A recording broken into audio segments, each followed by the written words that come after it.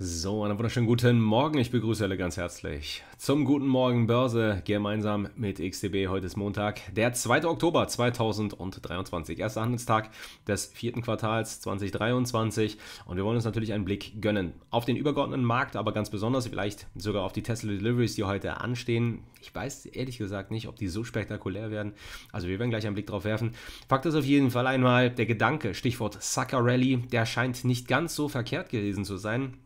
Wir hatten ja einen Versuch gestartet, vergangene Woche am Donnerstag bereits, ich hatte es kurz ja thematisiert, im Nasdaq ganz besonders, aber auch im Spider, einen Versuch gestartet an der Wall Street, dieses kurzfristig klar bärische Bild eben hinter uns zu lassen, die 5-Tage-Linie zurückzuerobern. Ich sagte aber auch, alles unterhalb der 5-Tage-Linie, jegliche Rallye ist potenziell Sucker-Rallye, ist nicht ähm, erstmal als nachhaltig zu erachten, sondern mit großer Vorsicht zu genießen. Tja, schaut euch den Kursverlauf dann in den Freitag-Schluss hinein an. Da haben wir einen deutlichen Abgabedruck nochmal zu sehen bekommen. Mal gucken, ob von den Tiefs fallen das wäre noch nicht dramatisch, weil es ungefähr auch die Region ist, um die ähm, ähm, Ausbruchregion, um diese, um diese Nackenlinie der Schulterkopf-Schulterformation im Falle des Nasdaq beispielsweise. Im Falle des S&P sieht es relativ schwach aus, aber summa summarum ist das auf jeden Fall erstmal kein besonders positives Signal. Übers Wochenende in den News, der Shutdown in den USA hat abgewendet werden können, Kelsey Pries, davon auszugehen, dass man sich da irgendwie einigen wird, also zumindest jetzt mal zeitlich begrenzt, aber darum geht es nicht. Kurzzeitig hat der Markt darauf positiv reagiert, die DAX kommt aktuell ein bisschen stärker rein. Ich bin mal gespannt, ob der DAX überhaupt große Wohler sieht, denn wir haben jetzt ja morgen den Tag der Einheit. Da ist zwar die Börse geöffnet, aber Brückentag heute, morgen Feiertag. Das wird eher ein lethargischer Start. Also wir werden den DAX als Spielball eigentlich der Wall Street erkennen. Und wie gesagt, dann noch die Tesla Deliveries. Wir haben zwei, drei Themen auf jeden Fall, denen wir uns hier jetzt in den folgenden Minuten widmen wollen.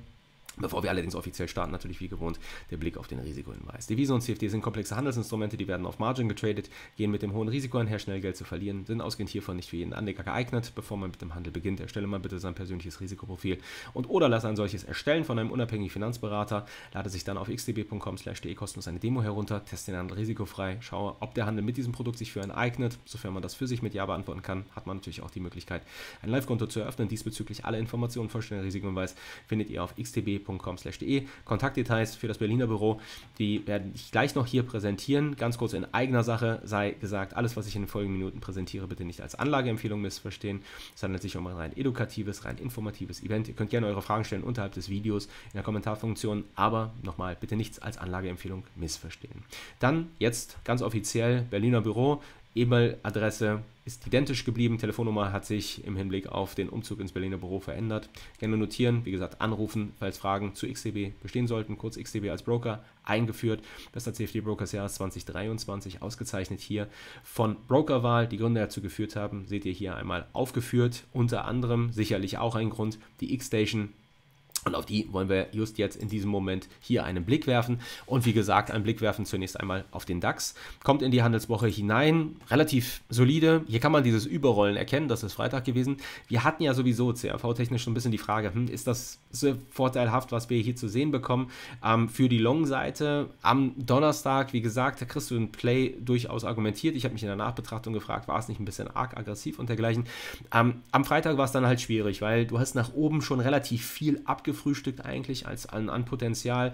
CRV-technisch für solch einen Bounce-Play sind wir da, wie gesagt, ein bisschen durchwachsen unterwegs, brechen allerdings diese Abwärtstrendlinie, sehen dann dieses Überrollen in den Schluss hinein, ausgehend von der Wall Street. So, und jetzt handeln wir im übertragenen Sinne innerhalb der Handelsspanne von Freitag. Ähm, und das ist eben etwas, besonders vor dem Hintergrund, Brückentag, heute 2.10., morgen Tag der Einheit, Feiertag, ja, die Börse ist geöffnet, aber nichtsdestotrotz, welches eigentlich den DAX trading-technisch nicht sonderlich interessant werden lässt, sollten wir Abgabedruck zu sehen bekommen. Hier sieht man dieses kleine Shutdown-Gap, so möchte ich das mal bezeichnen. Aber an der Stelle kurz mal einen Blick drauf werfen. Hier haben wir einmal ähm, das Shutdown-Drama abgewendet, Tagesschau mit übers Wochenende eben einer, einer Lösung, die dort gefunden wurde. Ich finde interessant allerdings das nur ganz, ganz vage, wenn überhaupt, aber ich habe es so ein bisschen im Hinterkopf als möglichen Trigger. Ähm, ich finde es interessant, dass wir innerhalb dieses, jetzt auch deutlich herausgestellt sehen, natürlich durch die mediale Berichterstattung logischerweise, aber dass es eben keine Gelder für die Ukraine beinhalten sollen. Also die Unterstützung für die Ukraine scheint zunehmend zu versiegen. Wir haben auch da durchaus Spannung gesehen ja zwischen der Ukraine und Polen beispielsweise. Ich bin überhaupt nicht drin in der Materie. Ich habe keine Ahnung, ähm, wie, was da sonst einzuordnen ist. Aber ich habe irgendwie das Gefühl, dass sich dort zunehmend die Anzeichen zu verdichten scheinen, dass da früher oder später vielleicht Friedensverhandlungen stattfinden könnten, was meiner Einschätzung nach jedenfalls erstmal jetzt pauschal bullish für Equities kurzfristig gewertet werden sollte. Das hätte ich so ein bisschen im Hinterkopf. Da wäre ich ähm, ähm, durchaus weiter dran interessiert. Aber nochmal, das ist aktuell noch kein Thema.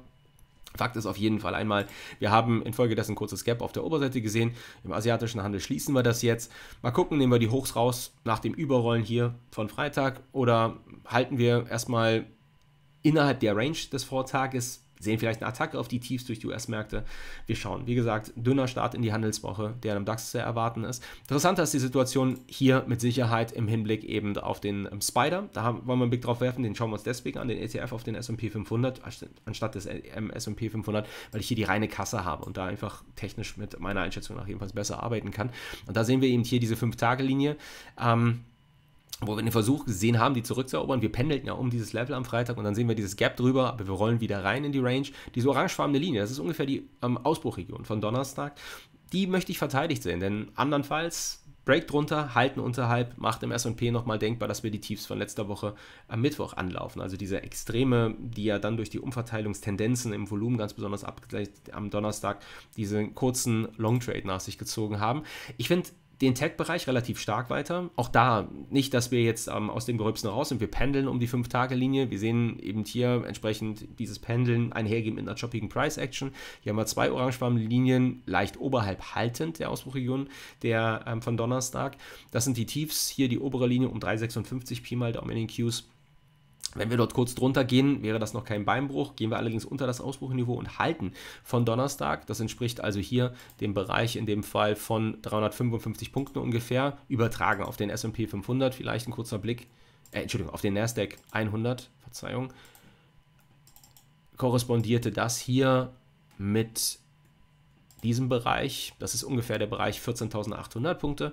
Halten wir drunter, dann wäre nochmal ein Test der 14.600er Region denkbar. Abgabedruck, wie gesagt, harren wir mal die Dinge, die da kommen, wie sich die Wall Street heute präsentiert. Das, was ähm, ich denke am interessantesten ist, im Einzeltitelbereich sind ganz besonders die sogenannten Tesla Deliveries. Mal gucken, wie die veröffentlicht werden, ob die überhaupt größere Wohlheit nach sich ziehen. Aber auf die sollten wir auf jeden Fall einen Blick werfen. Ähm, erst einmal zu Tesla insgesamt ich finde, relativ stark im breiten Markt anzusiedeln. Also, wenn wir uns vor Augen führen, nochmal ganz kurz hier auf die Cues kommt, eben, und wir wissen um die positive Korrelation ähm, des Nasdaq 100 und Tesla. Das ist um, um, definitiv ausmachbar. Aber wir können erkennen, wir hatten letzte Woche hier im, im September, in der letzten Septemberwoche, ein Unterschreiten, ein Undercut der August-Tiefs zu sehen bekommen. Ähm, konnten jetzt diese zurückerobern, ja, aber nichtsdestotrotz im Vergleich zu einer Tesla, die eigentlich positiv korreliert ist zum Nasdaq, sehen wir deutliches Halten oberhalb dieser August-Tiefs. Da gab es ja diese leichte Übertreibung auf der Unterseite. Ich glaube, wir hatten es auch hier im einen guten Morgen Börse ähm, zum Thema gemacht gehabt. Sei es auf jeden Fall drum, hier haben wir erstmal ein höheres Tief ausbilden können. Könnte man durchaus als relative Stärke vielleicht interpretieren. Auch hier allerdings pendeln wir erstmal um die 5-Tage-Linie. Und jetzt steht eben im Raum, wie werden heute die sogenannten Tesla Deliveries, also die ausgelieferten Fahrzeuge, äh, veröffentlicht. Die haben in der jüngeren Vergangenheit häufiger mal stärkere Volatilität nach sich gezogen. Und deswegen habe ich sie zum Beispiel auch über Twitter hier am Wochenende ähm, zum Thema gemacht, habe den ähm, Delivery Consensus hier von Martin Wircher gepublished. Das ist der Vice President Investor Relations von Tesla. Und ähm, man kann erkennen, aktuell der Konsens, ich weiß nicht, ob man es sehr gut erkennen kann, aber wenn man reinzoomt, auf jeden Fall, dann erkennt man es hier, dass das dritte Quartal 23 liegt bei roundabout 455.000, also 454.809 sind die ausgelieferten Fahrzeuge. Das ist das, was die Wall Street erwartet. Das wäre unterhalb des Allzeithochs, was wir im Vormonat, äh, im Vorquartal zu sehen bekommen haben, mit 466.000 ungefähr. Wir haben eine deutliche Anpassung auf der Unterseite zu sehen bekommen. Also bedeutet, ähm, die Wall Street hat da einen Konsens um 4,65 Pi mal Daumen ähm, und hat sie dann nach unten reduziert. Wenn man einigen sehr, sehr gut informierten Twitter-Accounts hier und sehr gut informiert meine ich beispielsweise Troy Tesla, das ist einer der vielleicht besten Analysten im Hinblick auf die Deliveries, hat sich einen Namen gemacht im Laufe der letzten Jahre schon. Unglaublich enge Fehlertoleranz an dieser Stelle, also wirklich, wirklich richtig gut. Und ähm, die sind alle so roundabout in den Lower 440s in Anführungsstrichen, also 440, 445.000 roundabout und argumentieren das über eben ähm, enttäuschende Absatzzahlen oder beziehungsweise Auslieferungen in Folge allerdings nicht von einer mangelnden Nachfrage, sondern in Folge von ähm, ähm, ähm Umstrukturierung innerhalb der Gigafactory in Shanghai, dass in China eben weniger ähm, Teslas vom Band gelaufen sind. Und infolgedessen davon ausgehen, dass es eher eine Enttäuschung auf der Unterseite gibt.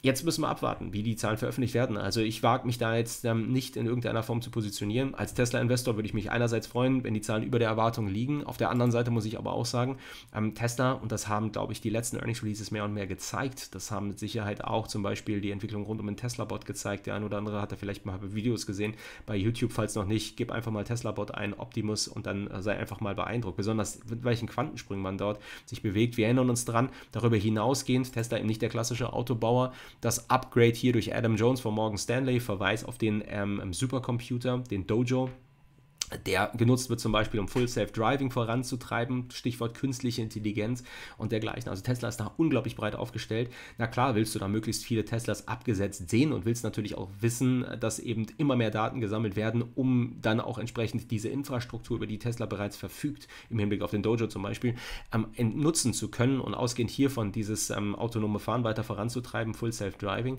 Ähm, aber also es bekommt zunehmend ähm, weniger Aufmerksamkeit Aufmerksamkeit meiner Einschätzung nach diese Deliveries. Also ich kann mir kurzzeitig Volatilität vorstellen, aber ich würde im Hinblick eben auf nachhaltige Impulse, besonders eben vor dem Hintergrund auch des übergeordnet eher ähm, unklaren Bildes im Hinblick auf die Cues gerade geschildert, dieses Pendel um die 5-Tage-Linie, jetzt nicht erwarten, dass wir da einen großen Trend initiiert sehen. Also kurze Vola-Spikes, kurze Scalps vielleicht, die sich in irgendeiner Form herauskristallisieren, aber habt sonst keine zu große Erwartungshaltung im Hinblick eben auf nachhaltige Impulse. So zumindest meine Einschätzung. Wenn, würde ich tendenziell vielleicht sagen, also sollte es einen größeren Trend geben, tendiere ich vielleicht sogar eher zur Short-Seite.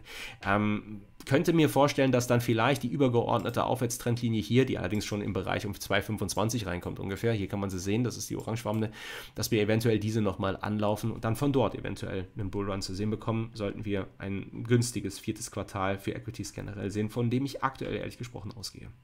Also, schauen wir morgen drauf. Happy Trading meinerseits. Passt auf die Stops auf. Wir hören uns morgen wieder hier an dieser Stelle. Ich freue mich. Habt euch wohl. Bis dann und tschüss.